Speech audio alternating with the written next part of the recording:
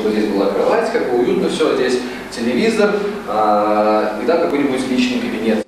Этого дня Иван Игонин ждал всю жизнь. Теперь у него есть собственная квартира. В 2001 году мальчика забрали из неблагополучной семьи. Маму лишили родительских прав. Пройдя тернистый путь, юноша нашел себя в профессии актера. Сейчас он работает в театре «Камерная сцена». Наличие собственной жилплощади – хороший старт для взрослой жизни, говорит Иван. В очереди за квартиру он простоял три года. Рассказывает, не ожидал, что условия настолько удовлетворят его представлениям. Когда я пришел сюда, ну, я не ожидал, что такой ремонт будет здесь, все что ухожено, ламинат, я думал, там линолеум будет, ну, то есть, ну, не так все хорошо, вот, а потом я, как бы, ну, удивился, что и ремонт э, очень приятный, вот, как бы особо делать мне ничего не надо, вот, а по квадратуре 42 квадратных метра.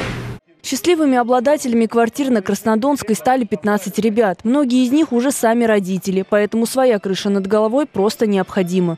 Несомненно, это большой праздник для вас, но и для нас тоже. Поверьте, что стоит очень большого труда для того, чтобы решать эти проблемы, а, реализовывать те законы, которые есть, потому что система очень сложная, непростая, но в то же время мы очень серьезно заинтересованы в том, чтобы вы были обеспечены жильем.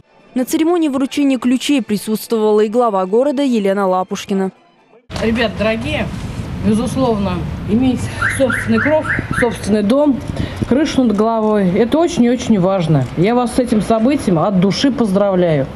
Я хочу, чтобы в этом доме, в этой квартире всегда с вами были ваши родные и близкие, чтобы вы собирались за большим столом, чтобы вы могли мечтать, планировать и быть счастливыми.